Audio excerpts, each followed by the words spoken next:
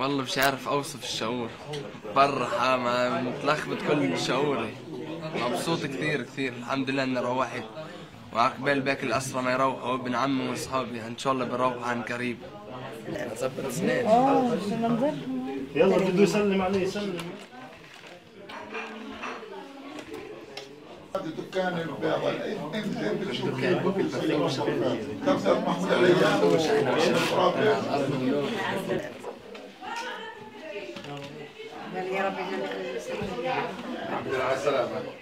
شو حاسة؟ زي أي أم يعني الحمد لله رب العالمين. مبسوطة كتير.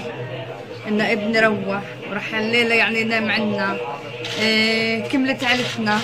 أهم إشي الحمد لله رب العالمين. الله سلامتك الله يسلمك.